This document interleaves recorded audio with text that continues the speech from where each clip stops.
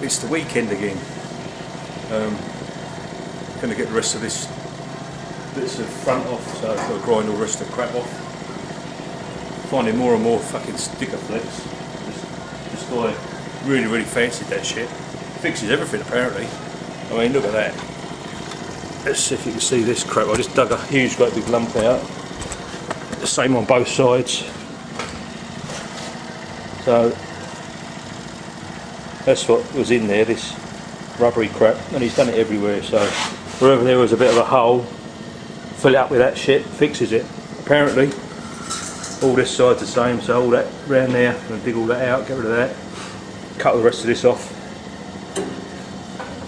get ready for the new front end. All this has got to go, all that,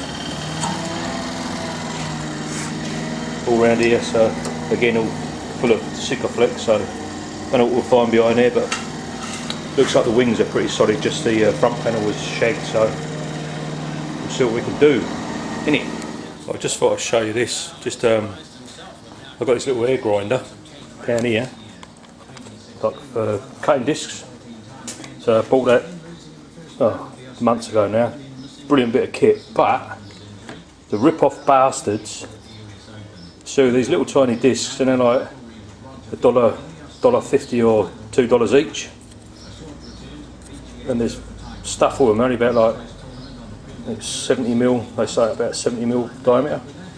Um, they they last five seconds. So what I do is my old cutting disc for my angle grinder. I made a an adapter up, so just some washers. Just ground the washer down a little bit. So then these these then fit on there. Show you. If I can hold that. I have to stick this in the stand and show you. Two seconds. That's better. You able to see now. So what I've done, yeah, I've got a couple of washers on here.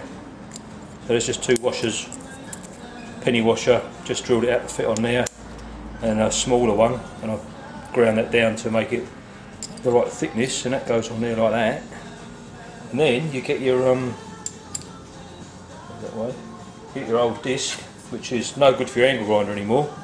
It's too bleeding small, but you thwack them on there like that, centres it, another big penny washer on there, then I've just recycled,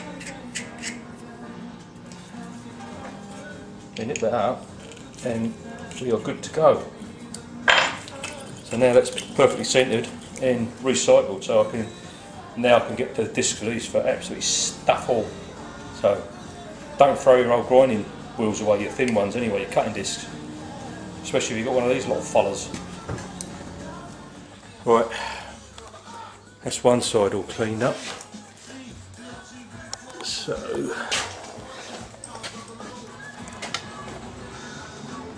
all the crap off of there now. All the old panels removed from that side. Now, just that shit. Happy days. Right, finished grinding and banging and making a bleeding mess. So now Well, just chucked the bonnet on it. Gap's not too bad, the front's got to come in just a little bit. So sort of tapers towards the back. So that means the front's spread a little tiny bit, so I shall pull it back together before I weld it up and um, yeah, make sure it's straight. Probably just put a ratchet strap around it, just give it a couple of ticks and that'll pull it in. But other than that, it's no bad. I'll try and get the other bit in now. So I guess what I'll do now is punch this part so I can spot weld that in and then do the same with the, the front panel down there. Once it's in, it's in then and I can just weld it up. Should be good to go. Smart. Well, just test fitting all that. So just all wedged into place. The bonnet gap's pretty good for a for a Ford, to be fair. So about the same both sides. So I should imagine now I can um, start welding it together. Be another job done. Sweet. Then I could chuck it back on the spit and carry on with all the other bits I've sort of gone away from because it's nice to do a big bit when you can see you've actually done something like that. So that'll be cool when that's all on. So I shall get the welder out now, uh, take the bonnet off, and um, start to spot weld it in. Bleeding marvellous, ain't it? And it's bleeding hot and all.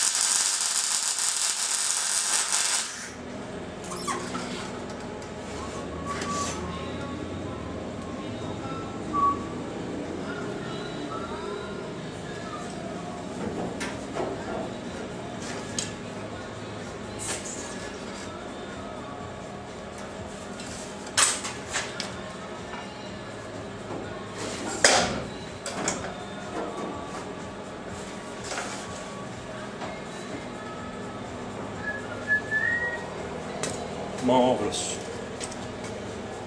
Right, so the inner panel's all welded in and the front panel now is just clamped in. Looks pretty good. Probably have to just uh, do a little bit of something in here. Pull them in a little bit better. But yeah, it fits pretty well, so job's a good one. Um, I'll probably just tack that on. But I've run out of gas for my MIG, so buggered. So until I do that, I can't put the bonnet back in and just test it to fit. But yeah, pretty good. So um, looks a shit shit sight better than it did anyway.